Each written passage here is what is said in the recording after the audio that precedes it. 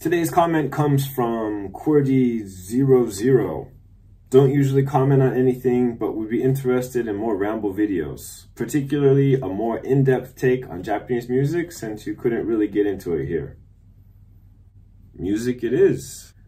Japanese music gets pretty deep.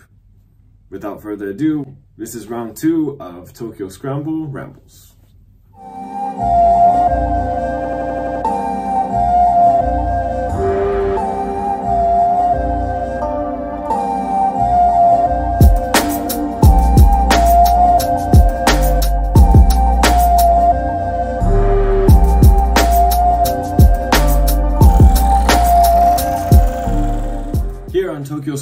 Rambles, I will take 15 minutes and see how deep I can dive into various topics about Japan, Japanese culture, Japanese language. I'm a little worried about today. I'll be diving into music, but to be honest, I'm not sure how much justice I'm going to be able to do the, uh, you know, Japanese music in 15 minutes, though I will do my best. So here we go. Uh, Tokyo Scramble Rambles Part 2, all about Japanese music. 15 minutes in three, two, one. Uh, let's do it. Um, where to begin? Almost every uh, story uh, dealing with Japanese music finds its roots in the legend of Amaterasu and the cave. Uh, the cave is actually a real cave that you can find in Miyazaki and uh, known as uh, Ama no Iwato. So you could visit this cave if you ever wanted to. Um, the story goes, a legend has it that um, Amaterasu and her younger brother, Susanoo no Mikoto, they get into some kind of fight or something. Um, Amaterasu is either angry or pouty or something. She decides to hide herself in a cave. This is a problem for the rest of the world since she's the sun goddess and the world basically falls into darkness. At this time, they start trying all sorts of different things to get her out of the cave and Usually, the story involves song and dance and drumming and music of some sort, and thus also comes the birth of music in Japan. Um, most traditional Japanese music will will trace its roots back to the story, whether it's uh, taiko, uh, often, you know, drum players or percussionists will say that the first taiko was played by the younger brother to draw Amaterasu out of the out of the cave, and that's where it all began. Who knows? Um, organized music really, or at least like a record of organized music, really doesn't start coming into the history books until we hit like the late Nara period, uh, the Heian period. Uh, before that, you would have had a lot of music that was played in like local areas. There was different types of music and music that still exists today, uh, known as kagura. Uh, kagura is just a type of music and dance that's essentially made to, it's uh, religious, like a Shinto um, performance piece, like music that's meant to uh, being be pleasing to the kami, to the gods, and bring uh, peace and balance to everything living in the surrounding time space, the, everything that can hear the music or see the performance. Um, basically there to please the kami. Um, so every chiki, like every different area would have their own kagura and they'd have their own traditions, their own music, but none of this has really, there's, we don't really have a lot of records of this stuff. Um, as with most uh, musical traditions in Japan, everything is word of mouth. Everything is literally written kuden. Like most of the music is transferred via kuden, which is written with the kanji for mouth and stairu to communicate something or transmit something. So kuden. Um, it's a verbal tradition uh, music, whether it's the structure of the music, the sounds that the instruments make. Uh, traditionally, there's no written music in Japanese music anywhere. So if you try to go back any further than the Nara period into history, you come up empty-handed. We have stories that music existed. What did it sound like? To be honest, no one really knows. The reason we start um, knowing what music sounds like when we get into the late Nara period, Heian period, is because uh, we start getting into a form of music that we currently know as gagaku. Gagaku is the imperial, like the court music of, of Japan, of traditional Japan. And it is heavily, heavily influenced by uh, Chinese culture, um, basically Chinese court music.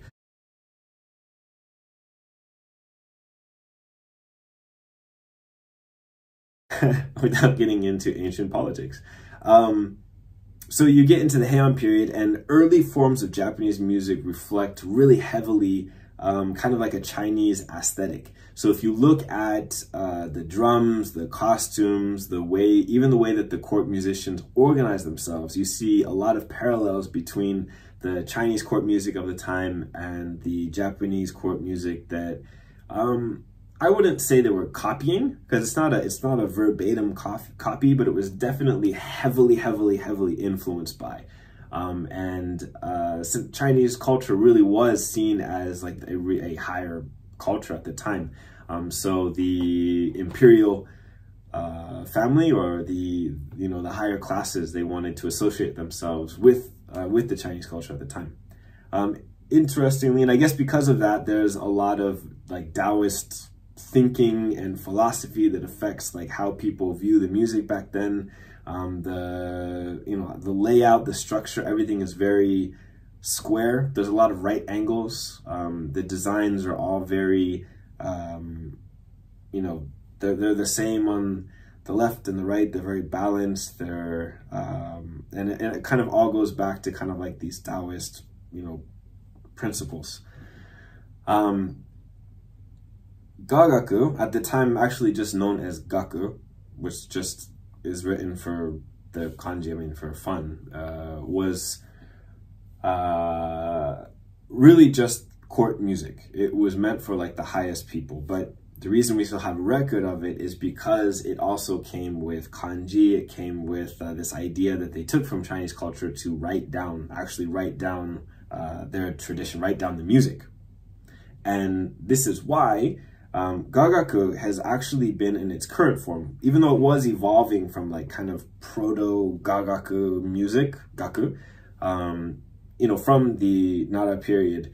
Uh, it really takes its full form about 1300 years ago, and the music that we have now, that Gagaku artists still play today, is basically, it's more or less the same as it was 1300 years ago, which is an amazing feat. Um, and this is really due to the fact, uh, mostly, that Japan has been incredibly peaceful. Of course, it did have a, you know, different warring times, but those, the wars in Japan, the different civil wars, they, they dealt with uh, different clans, but no one was ever really fighting for the imperial throne. Uh, it wasn't like that. The the political power that the different clans held, they, while they may have battled for that, no one was like trying to overthrow the, the imperial throne.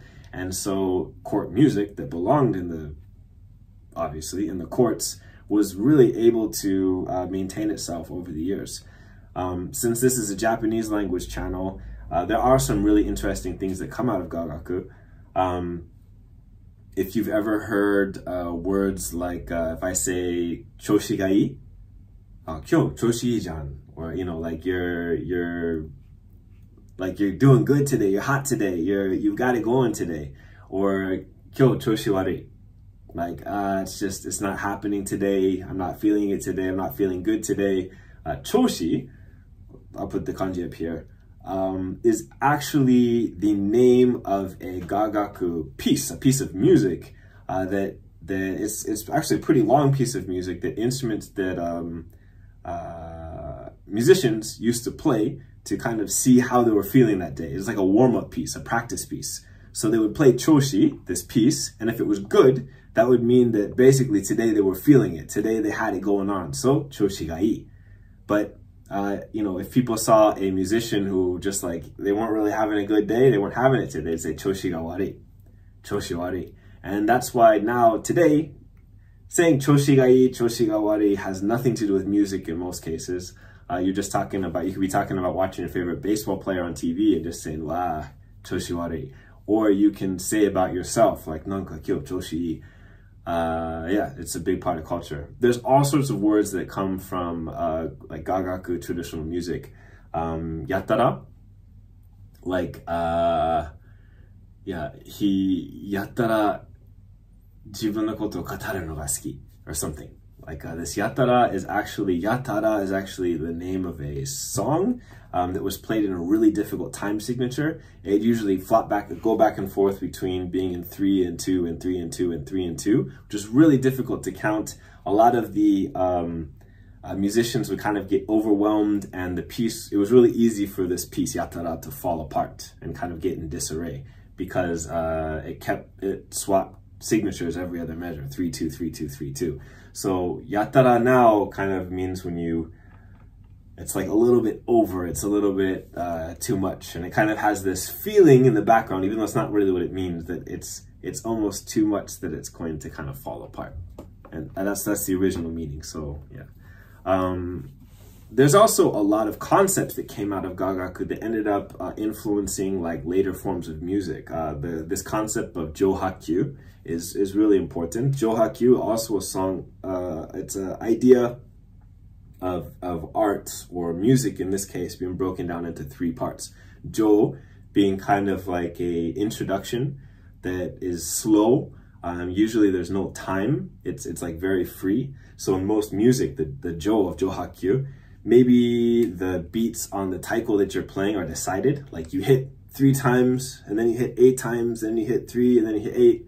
But the, the spacing is not in time. So you play dong, dong, dong, dong, dong, dong, dong, dong. You're just playing, it's kind of random. It's not like in time. And then uh, ha would be kind of like the main body of the piece and this is like uh, it's it's kind of like building the story it's in time. And then kyu literally written with the kanji for like really fast uh, that's like the fast exciting ending the climax. So this concept of Johakkyu comes from a Gagaku um, musical piece but uh, this idea ends up getting uh, transferred over to later forms of music as well as uh, other Japanese art forms that have nothing to do with music, whether it's like ikebana, like the flower arranging, or iaido, like with the swords, drawing of the swords, um, all sorts of stuff.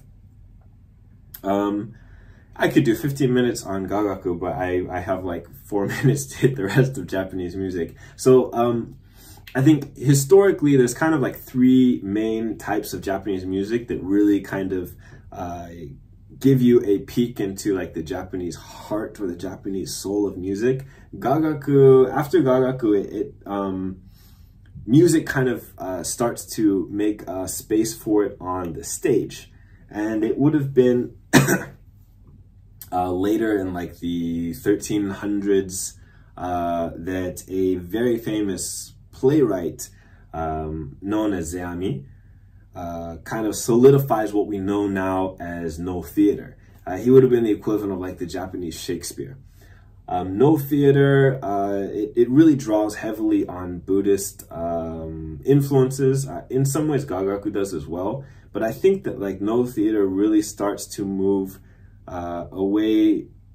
Well, I mean, you know, it starts to move into like more of a Zen uh, understanding of of, uh, of Buddhism, and, and that kind of shows in the music. Um, it's really at this time that I think the Japanese sound solidifies itself, uh, which I think you can demonstrate. It has a lot of parallels to just modern culture in general. Um, if you look at some of the main instruments, well, the main instruments of Noh theater uh, being the nohkan, which is like the Noh uh, flute made out of like bamboo. And then there's three different types of taiko. Uh, they have the kotsuzumi, which is the one they hold on the, uh, it's like an hourglass shaped drum that they hold on their uh, shoulder and they can adjust the pitch by squeezing and releasing the ropes on the side. There's the otsuzumi, which is held on the hip. It's a really high pitched sound. And then there's the, well, they say taiko, but it's a shime daiko, like a, a roped drum that's uh, played with sticks. Um, these are kind of like the core of well, the music of Noh theater, obviously along with the human voice. And I think this is really when kind of like the quintessential Japanese sound was established. Um, if you look at the development of the music, like uh, in in Gagaku, there was an instrument called the ryuteki, which is like the the main flute. And this flute, uh, to all the Gagaku people, I'm sorry, it, to my to me it sounds kind of like uh, a little more standard, like uh, not like a recorder, but just kind of like a standard flute sound. Um, but with the development of the Nohkan, there's actually like another little piece inside of the mouthpiece that how you can produce like a really high pitched sound, but you have to blow a lot harder. Um, and it really makes like this uh, unique uh, sound. Um, and I, I, guess the point here for me is that Japan has always been kind of like this country of um, having to, they take something from another culture and then they make it their own and they make it even better. And the music really is the same way. I, I think it's the, you know, this uh, evolution of the ryuteki into the nohkan is basically kind of like embodies this part of Japanese culture that's just super open to outside ideas. And, you know, there's really no wall it just absorbs these outside ideas and then reproduces them as their own, only better. And that's something that you can see in modern day Japan with the car or the cell phone or computers or like really anything that Japan gets. Um, I'm about to run out of time and I have only uh, made it to barely touching on Noh the music of Noh theater. I'm gonna have to do a part two on this one. This has been part one, part one of Tokyo Scramble Rambles music. Uh, hang in there for part two. Um, I'll get that out there soon. Thank you. Have a good day. Tokyo Scramble out.